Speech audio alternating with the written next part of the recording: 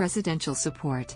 On September 16, President Joe Biden met with Cherelle Griner, the wife of Brittney Griner, as the WNBA star remains detained in Russia.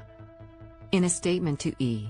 News, White House Press Secretary Karine Jean-Pierre shared that the two met in the Oval Office, where President Biden reiterated his continued commitment to working through all available avenues to bring Griner home safely.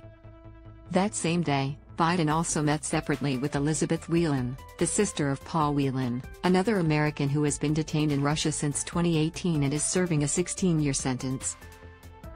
The president appreciated the opportunity to learn more about Brittney and Paul from those who love them most, and acknowledged that every minute they are being held is a minute too long, the statement read. We all admire the courage of the Whelan and Griner families in the face of these unimaginable circumstances, and we remain committed to reuniting them with their loved ones. The meetings come after earlier conversations that the president, his national security team, and the State Department have held with the detainees' families to keep them updated on efforts to secure the release of their loved ones as quickly as possible.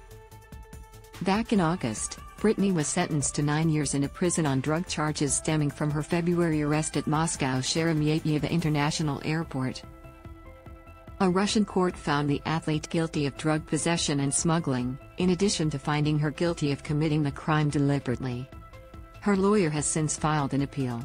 After Brittney's conviction, Bill Richardson, a former U.S. ambassador to the United Nations, told the Associated Press he was hopeful about the chances for a prisoner swap with Russia that would bring her and Paul home to the U.S. Dennis Rodman is also seeking the prison release of Brittney, vowing to travel to Russia himself to make it happen. I got permission to go to Russia to help that girl, he told NBC News at a restaurant in Washington, D.C., on August 20th. I'm trying to go this week. No word if the former NBA star ever made the trip.